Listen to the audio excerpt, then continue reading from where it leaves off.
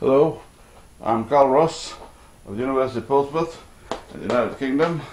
And today I'm going to give you a lecture on using the commercial finite element package ANSYS for analysing an in-plane plate with a hole in it. It's a rectangular plate, the hole's in the centre and subjected to tension.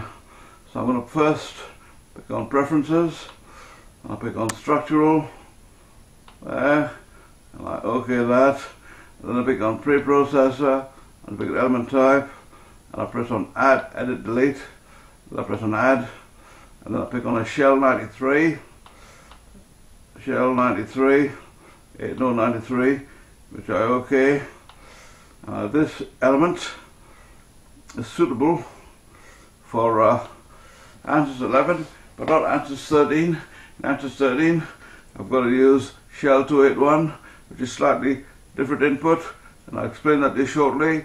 But now I'm going to input the thickness, put real constants, I press add, edit, delete, I press add, I press OK, I put in the thickness, the thickness of this plate is one millimeter, I put it on one node only, if I put it on one node, it assumes the thickness is constant throughout. I next pick on material properties, and I pick on material models, and I pick on structural, I double click that, I double click linear, I double click elastic, I double click isotropic, I put in the, the Young's modulus, which is 2 times 10 to the 5th, so I type in 2E5, 2 times 10 to the 5th megapascals, The Poisson's ratio is 0.3, so I put that in, and I OK that, and that's all I need for the material properties here, so I've come out of this. Now you can't do exactly this with ANSYS 13, because ANSYS 13 you can't use real constants to input your thickness, you've got to use section, shell, layer, add layer, and then you put in the thickness of your layer. If it's only one layer, isotropic material only have one layer. If it's a composite, it'll have several layers, and you put the thickness of each layer together with the material properties in the direction of it. But you must put this in after you put in the material properties with ANSYS 13. So now I'm going to model it. So I pick on modeling, and I pick on create, and I pick on areas, and I'm going to create a rectangle defined by two corners. Now you can see here the x-axis is there, the y-axis is there. So the coordinate, the origin is 0 for x and 0 for y. And the width is half 50 millimeters, so it's 25 millimeters because I'm taking the top right hand rectangle. The width is 25 and the height is a half of 25.4 which is 12.7.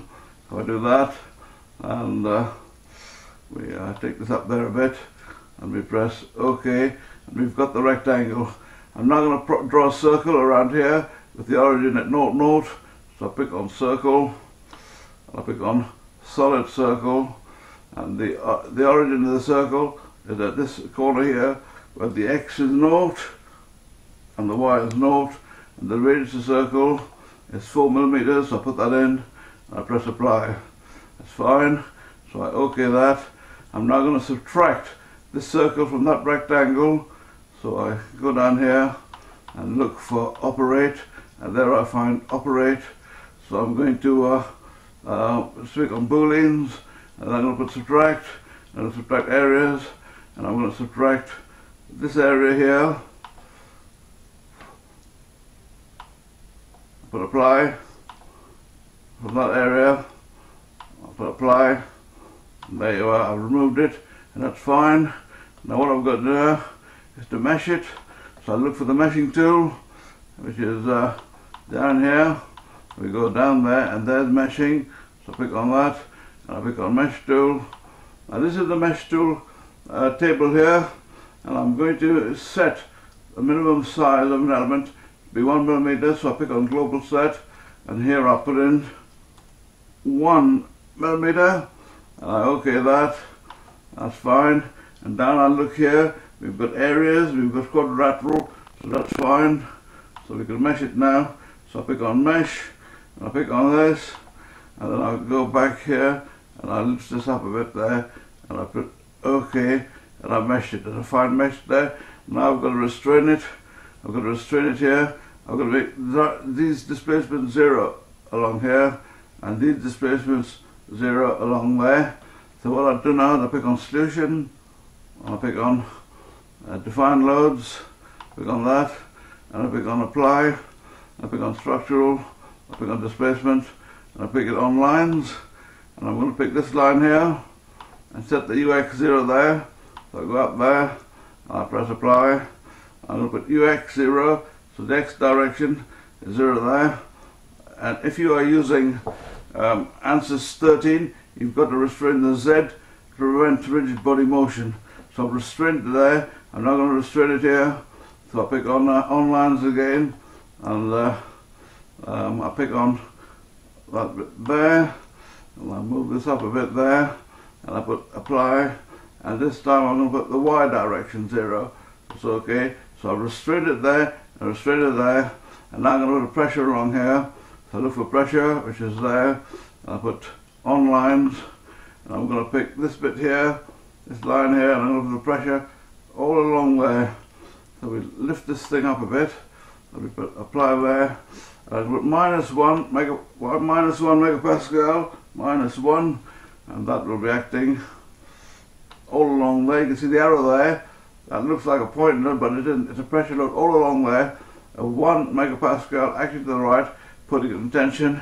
If I put it in, if I put it the other way around, it'll be in compression. So now I'm going to solve this problem.